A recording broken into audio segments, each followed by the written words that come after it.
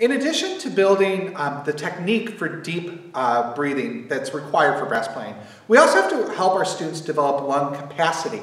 Uh, for most of them, uh, their lung capacity is fairly limited because they don't utilize their entire lung capacity uh, in most of the activities that they do. Uh, one activity that we can do this with is what's called three sips. This is a variation upon our timed breathing exercise. So we're still going to take those four count uh, breaths in, but once after we've taken those four counts, instead of immediately turning to an exhale, we're going to take three quick sips of air, right in time. Each time that we do that, we should feel our rib cage expand, our lungs fill up a little bit more, and by that third sip, there should be a little bit of discomfort uh, through that middle abdomen as we're stretching um, our rib cage, we're stretching um, the muscles that control our lungs, um, and we're getting accustomed to what it feels like to fully inflate our lungs. And again, on the exhale, the goal is four counts to go from uh, lungs full to lung, lungs completely empty. So four counts in, three sips, and four counts. Breathe in.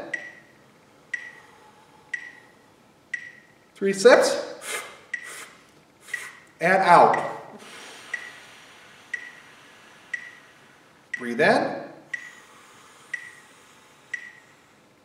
Three sips. And out. Once more.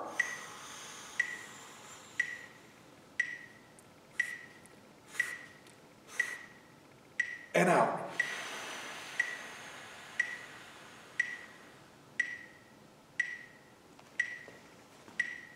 With each one of these exercises um, that we've done regarding breathing, uh, we should make sure that our students are doing these on a fairly regular basis early in their brass careers uh, so that they learn how to deep breathe and likewise start to build the capacity as they move forward. As always, make sure that you have a chair nearby so that if you have a child who's lightheaded, they can sit down.